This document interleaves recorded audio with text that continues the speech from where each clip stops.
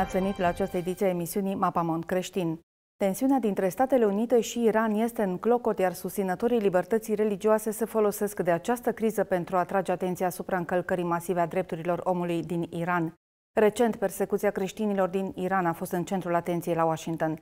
Și alte națiuni din Orientul Mijlociu se alătură Statelor Unite pentru a pune presiune pe regimul islamic. În timp ce America se străduiește să-și convingă aliații din Europa să exercite presiune asupra Iranului, Casa Albă vrea să construiască o alianță puternică anti-iraniană. Astfel, președintele Trump speră să pună capăt influenței Teheranului în regiune. Capul alianței este Arabia Saudită, care, printr-o unitate fără precedent, a adus oficial de vârf din statele membre ale Ligii Arabe și ale Organizației Cooperării Islamice la Jeddah pentru a se alia împotriva Iranului. Oficialități arabe și din Statele Unite acuză Iranul pentru sabotajul care a vizat patru nave petroliere în apropierea coastei Emiratelor Arabe Unite în luna mai. Ministrul de externe saudit a spus musulmanilor prezenți la întrunire că a venit timpul pentru a înfrunta Iranul. Vă asigurăm că ne vom strădui mai mult să contracarăm actele teroriste ale extremiștilor și ale grupurilor teroriste care, la începutul acestei luni sfinte, au vizat nave comerciale aflate în apele teritoriale ale Emiratelor Arabe Unite. În timpul întrunirii deasupra Golfului Persic, armata americană a continuat să facă exerciții militare cu partenerii din regiune, în timp ce tensiunea crește între Washington și Teheran. Statele Unite au trimis un portavion bombardiere B-52 și trupe în regiune pentru a opri amenințările din partea Iranului. În Teheran, liderul suprem a respins orice posibilitate de negociere cu Statele Unite și a rostit această avertizare. Vreau să vă spun clar că nu vom negocia cu privire la tot ce afectează onoarea Revoluției noastre. Nu vom negocia cu nimeni cu privire la capacitatea noastră militară.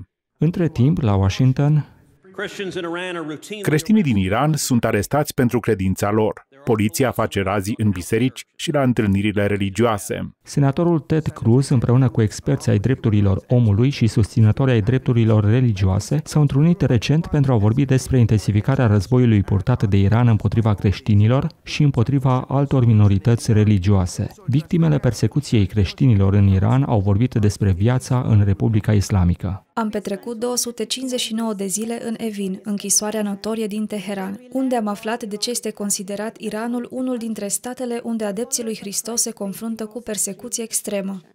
Printre cei care au fost invitați să ia cuvântul se află ambasadorul Sam Brownback și dr. Mike Ansari, directorul uneia dintre cele mai mari canale de televiziune care difuzează emisiuni în Iran. Ansari a spus că acest canal de televiziune este sunat din străinătate. Oamenii dau detalii despre atrocități împotriva minorităților religioase.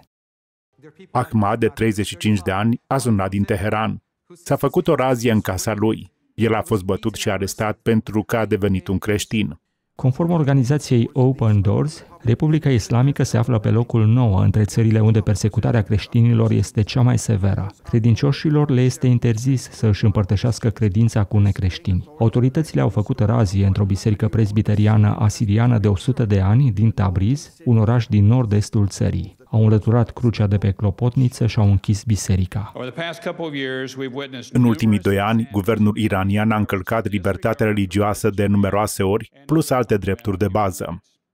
Jeff King, de la organizația International Christian Concern, spune că administrația Trump poate lupta împotriva persecuției din Iran prin aplicarea legii Magnitsky împotriva Iranului. Legea permite guvernului american să sancționeze indivizii care încalcă drepturile umane oriunde în lume.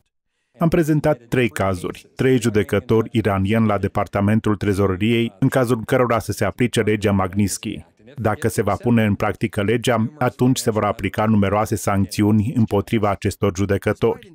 În pofida persecuției intense, cei care s-au adunat aici sunt încurajați știind că un număr mare de iranieni îl acceptă în număr record pe Isus Hristos. În prezent, creștinismul se răspândește mai repede în Iran decât în orice altă țară în lume.